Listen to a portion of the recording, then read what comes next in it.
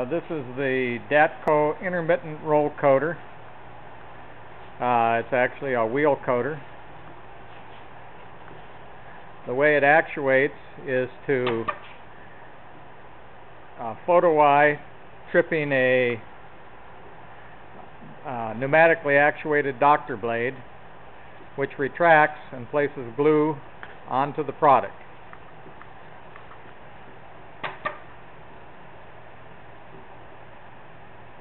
Very precisely. You can control the position of the glue by positioning of a photoelectric cell that you see here. The length of the glue is adjusted in two different ways. Uh, it can be adjusted by a lengthening the timer or also by uh, increasing the speed with, with which the product class passes under the uh, uh glue roll. Uh, slow it down a little bit.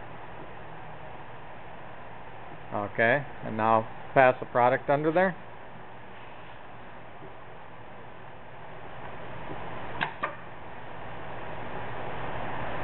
And you can see the deposition of glue on the product. It's very clean. The controls on the front of the panel are similar to any of the Datco hot melt roll coaters and that you have a AC variable speed uh, drive for the motor and then the digital temperature control with digital readout.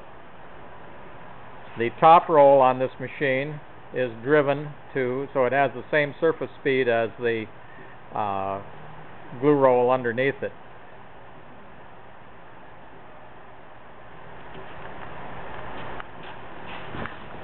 We'll run another product through here again. Now we'll speed it up a little bit.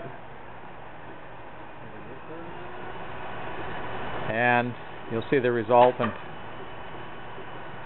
you see the stripe of glue has increased uh, considerably.